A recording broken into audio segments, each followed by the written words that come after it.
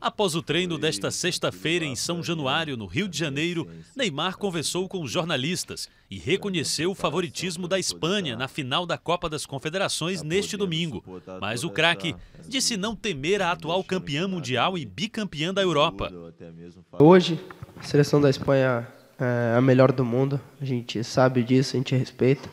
O favoritismo é deles. É, mas foi o que eu falei, dentro de campo a gente tem que jogar nosso futebol respeitando, mas sem, sem deixar é, de lado o nosso jeito de ir para cima, de, de driblar, de arriscar a jogada mais perigosa.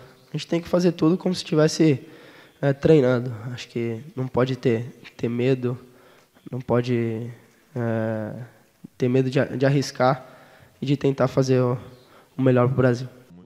Para Neymar, a final deste domingo no Maracanã pode entrar para a história. A gente sabe que pode, que, que a gente pode cravar nosso nome na história do futebol brasileiro, né, no futebol mundial.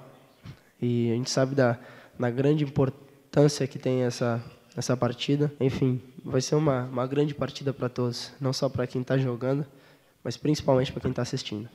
Sem dúvida, Brasil e Espanha é uma das finais mais esperadas do futebol mundial.